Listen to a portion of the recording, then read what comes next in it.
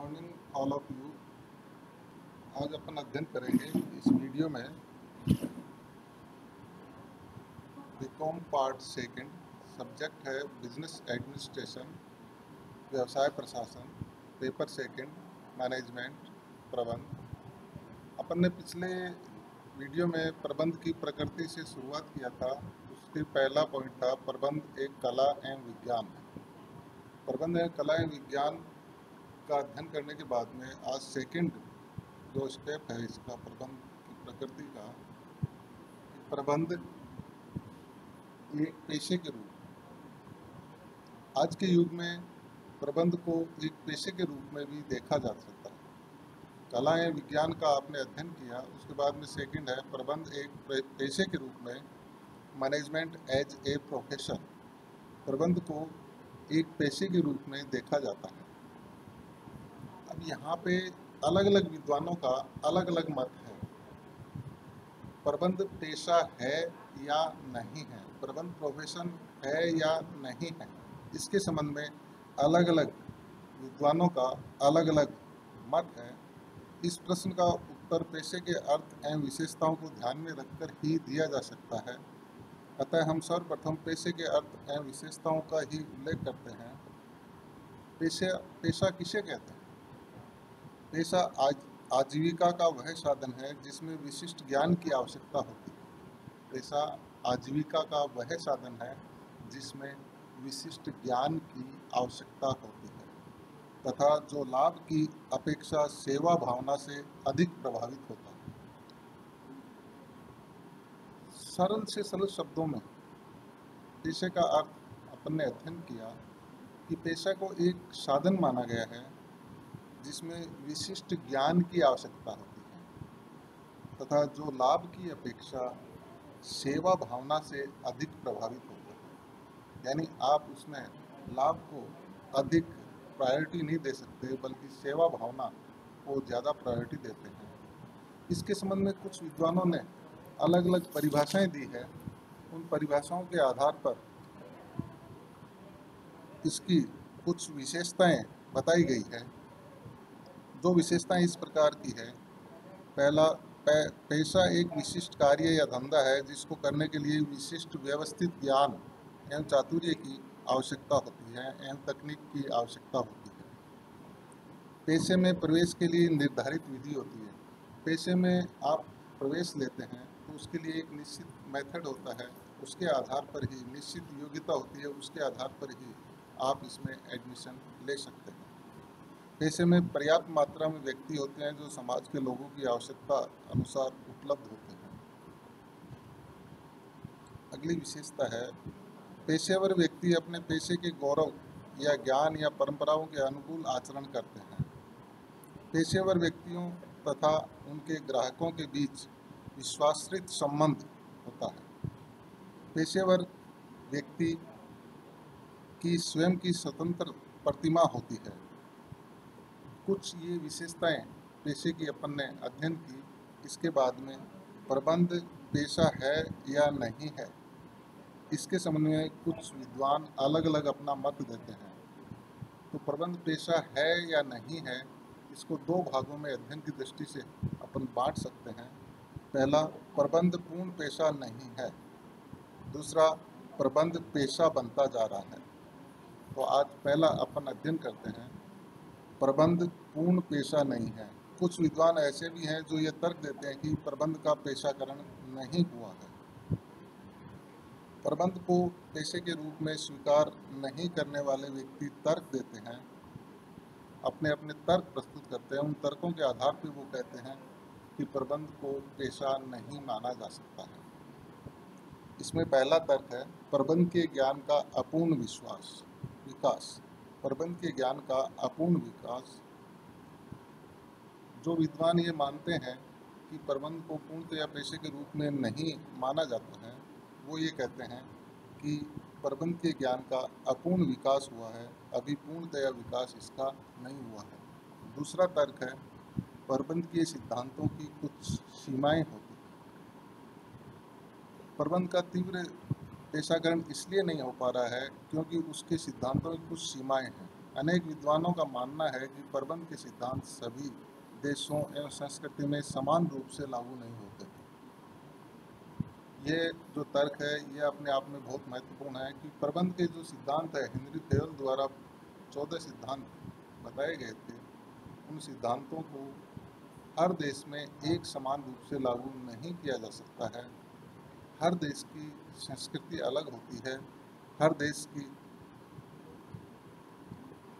प्राकृतिक अवस्था अलग होती है, इसलिए इनको समान रूप से लागू नहीं किया जा सकता है। तीसरा तर्क है, नैतिक आचार संहिताओं का अभाव।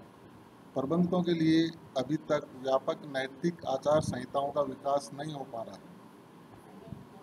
इसमें विद्वान ये कहते हैं कि नैतिक आचार संहिताओं का अभी तक पूर्ण रूप से व्यापक प्रचार प्रसार या विकास नहीं हो पाया है कई प्रबंधक तो सामान्य सामाजिक नैतिक मूल्यों का भी पालन नहीं करते हैं। कई प्रबंधक तो भ्रष्टाचार के आरोपों को भी पचा जाते हैं। यानी कहने का मतलब नैतिक मूल्यों का अभी पूर्ण रूप से विकास नहीं हुआ अगला तर्क है, औपचारिक शिक्षा अनिवार्य नहीं। प्रबंध के पेशा न होने का एक तर्क यह भी दिया जाता है कि प्रबंधक बनने के लिए किसी प्रकार की औपचारिक शिक्षा की अनिवार्यता नहीं है। फलतः कई व्यक्ति जो सामान्य व्यवसायिक सूझबूझ नहीं रखते हैं, वो भी प्रबंधक बन जाते हैं।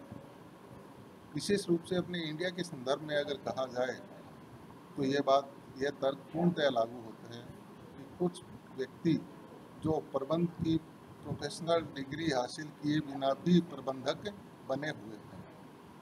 अगला तर्क है, प्रवेश की निर्धारित विधि का अभाव। सामान्यतः किसी भी पेशे के प्रवेश पाने के लिए एक निर्धारित प्रक्रिया का पालन करना पड़ता है। परंतु प्रबंध में प्रवेश के लिए किसी प्रकार का पंजीयन कराने या लाइसेंस लेने की आवश्यकता नहीं होती है। अगला है, ग्राहकों को पहचानना कठिन। प्रबंध पेशा इसलिए नहीं बन पाता है क्योंकि ग्राहकों को पहचानना कठिन है। अन्य देशों में ग्राहकों को आसानी से पहचाना जा सकता है और ग्राहक पेशे व्यक्ति को पहचान लेते हैं। उदाहरण के लिए डॉक्टर मरीज़ को वकील, मुवक्किल को व्यक्तिगत रूप से पहचानता है, परंतु परंतु प्रबंधकों को ग्राहक इतने व्यापक क्षेत्र में फैले रहते हैं कि वे एक दूसरे की पहचान नहीं कर पाते हैं अतः प्रबंधक अपने दायित्वों से आसानी से बचे रहते हैं। अगला तर्क है, जो विद्वान प्रबंध को पेशा नहीं मानते हैं, उसके संबंध में लास्ट और महत्वपूर्ण तर्क है लाभ ही कुशलता का मापदंड माना जाता है। विश्व में अभी प्रबंधकों को औपचारिक पेशागण सीमित होने के कारण से यह एक बड़ा कारण है कि अधिकांश संस्थाएँ प्रबंधकों की सफलता को लाभ का आधार पर ही आंकती यह माना जाता है कि जो प्रबंधक संगठन को अधिकतम लाभ प्रदान करवा सके, वही एक अच्छा प्रबंधक माना जाता है, चाहे वो प्रोफेशनल कोर्स किया हुआ हो या नहीं किया। उन सभी को ये माना जाता है कि प्रबंध, प्रबंधक वही अच्छा है जो सबसे अधिक से अधिक लाभ प्राप्त कर सके। इन तर्कों के आधार पर यह कहा जा सकता है कि प्रबंध अभी तक एक पूर्ण पेशा नहीं बना है।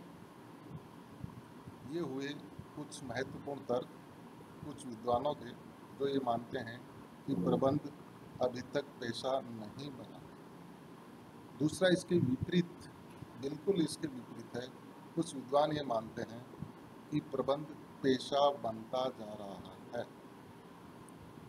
जो विद्वान ये मानते हैं, वो भी अपने तर्क देते हैं कि जैसे अमेरिकी प्रबंध संघ के अनुसार यह एक पेशा बनता जा रहा है। लॉरेंस ए. एप्ले ने भी कहा है कि प्रबंध एक पेशा बन चुका प्रबंध को एक पेशे के रूप में मान लिया गया है। जो विद्वान ये मानते हैं कि प्रबंध को एक पेशा मान लिया है या प्रबंध पेशा बन गया है, उनके कुछ महत्वपूर्ण तर्क हैं, उनका अध्ययन भी अपन यहाँ पे करते हैं। पहला तर्क उनका, बिल्कुल जो आपने पहले अध्ययन किया था, प्रबंध एक पेशा नहीं है, उसके बिल्कुल विपरीत कुछ तर्क हैं, जिनका अध्ययन अपन पॉइंट वाइज करेंगे। पहला है, प्रबंध के लिए शिक्षण एवं प्रशिक्षण होना। जो विद्वान ये मानते हैं कि प्रबंध पेशा है, वो ये पहला तर्क देते हैं कि प्रबंध का औपचारिक शिक्षण, प्रशिक्षण दिए जाने लगा है। भारत सहित विश्व के अनेक देशों में अनेक प्रबंध शिक्षण संस्थान स्थापित हो चुके हैं। उनमें प्रबंधकों की शिक्षण एवं प्रशिक्षण की विशेष व्यवस्था की गई दूसरा तर्क है, व्यवस्थित ज्ञान का विकास होना। प्रबंध पेशा इसलिए बनता जा रहा है क्योंकि इससे व्यवस्थित ज्ञान का विकास हो रहा है। व्यवस्थित ज्ञान के विकास के लिए अब शोध एवं अनुसंधान भी निरंतर रूप से किए जा रहे हैं। तीसरा है व्यवहारिक अनुभव। अब प्रबंध का सैद्धांतिक शिक्षण प्रशिक्षण की ही नहीं, व्यवहारिक अनुभव भी प्रदान किए जाने लगा है। भारत में प्रबंध पाठ्यक्रम, M B A, C A C S पाठ्यक्रम में व्यवहारिक अनुभव को अनिवार्य रूप से सम्मिलित किया गया है। इससे प्रबंध के पेशाकरण की अधिक अवसर उपलब्ध हो सकेंगे। अगला है, नैतिक आचार संहिता। पेशेवर प्रबंध संस्थाओं में अपने सदस्यों के लिए नैतिक आचार संहिताओं का निर्माण किया है। फलतः प्रमा, प्रमापित व्यवहार एवं आचरण की आशा लगाई जा सकती है। अगला है, ज्ञान के विकास के लिए प्रयास। पेशेवर प्रबंधक ज्ञान के विकास के लिए प्रयासरत हैं। पेशेवर प्रबंधकों के संग समय समय पर सभाओं, सम्मेलनों, भाषणों विचार गोष्ठियों का आयोजन करते हैं और पेशे संबंधी ज्ञान के विकास में सहयोग करते हैं। अगला तर्क है, सामाजिक संवेदनशीलता। अब पेशेवर प्रबंधक अपने सामाजिक दायित्वों के प्रति संवेदनशील होने लगे हैं। पेशेवर प्रबंधक अपने सोशल लाइबिलिटीज के बारे में पूर्णतया ज्ञान रखते हैं और उनके लिए जागरूक भी होने लगे हैं। अगला तर्क, परिवर्तनों के प्रति रुचि। वर्तमान युग में प्रबंधक स्वयं परिवर्तनों में रुचि लेने लगे हैं। तकनीकी विकास एवं उपभोक्ताओं की आवश्यकताओं के अनुरूप स्वयं अपने कार्यों में परिवर्तन करने लगे हैं। यह एक बहुत इम्पोर्टेंट चीज़ है। मार्केटिंग में अपन इस चीज़ का अध्ययन करते हैं कि प्रबंधक, वर्तमान जो युग है उसके अनुसार अपनी कार्यों में परिवर्तन करते हैं। स्वयं में भी परिवर्तन करने लग गए और कार्यों में भी परिवर्तन करने लग गए। उसमें मुख्य रूप से ये देखा जाता है कि उपभोक्ता क्या चाहता है। उपभोक्ता क्या चाहता है और तकनीकी विकास किस रूप में हो रहा है। उससे अपने आप को जोड़ने लगे हैं ताकि समय के अनुसार वह अपनी प्रबंध की क्रियाओं को संपन्न कर सके। मानवीय दृष्टिकोण। अगला ये तर्क भी बहुत महत्वपूर्ण है। अब प्रबंधकों में मानवीय दृष्टिकोण अधिक पनपने लगा है। अब वे श्रमिकों को उत्पादन के साधन के रूप में न समझकर संस्था के एक अभिन्न अंग के रूप में मानते हैं। आधुनिक प्रबंधक संस्था में प्रजातांत्रिक प्रबंध को अपनाने लगे हैं। यह तर्क अपने आप में बहुत महत्वपूर्ण है। जितने भी विकसित राष्ट्र हैं, उनमें इस बात पर विशेष ज़ोर दिया जाता है कि प्रबंधक मानवीय दृष्टिकोण को महत्वपूर्ण प्राथमिकता पर रखते हैं। वह श्रमिक को केवल एक श्रमिक या उत्पादन का साधन नहीं मानते हैं, बल्कि संस्था का एक अभिन्न अंग भी मानते हैं। इसके लिए संस्थाओं में डेमोक्रेटिक मैनेजमेंट सिस्टम लागू करते हैं। इसमें क्या होता है कि जो श्रमिक वर्ग है, उसको प्रबंध प्रबंधकीय समितियों में शामिल किया जाता है, उनकी समस्याओं पर विशेष ध्यान दिया जाता है और उन नीति बनाते समय उनकी समस्याओं को अपनाया जाता है, उनकी समस्याओं को ध्यान में रखा जाता है और उसी के अनुसार नीतियाँ बनाई जाती हैं। योग्यता प्राप्त प्रबंधकों की नियुक्ति। अब पिछले कुछ वर्षों में सभी देशों में प्रबंधकों के पदों पर योग्यता प्राप्त, जैसे M B A C A C S I C W A व्यक्तियों को नियुक्त किए जाने की परंपरा बनती जा रही है। ये तर्क भी अपने आप में बहुत महत्वपूर्ण माना जाता है कि अब वर्तमान में प्रत्येक संगठन में जो योग्यता प्रबंध की योग्यता प्राप्त व्यक्ति होते हैं, जैसे एन है सीए है आई सी है सी एस है, उनकी नियुक्ति विधिवत रूप से की जाती है। इसमें भाई भतीजावाद, रिश्तेदारी, मित्रता आदि की तुलना में प्रबंध की योग्यता को अधिक महत्व दिया जाता है। अगला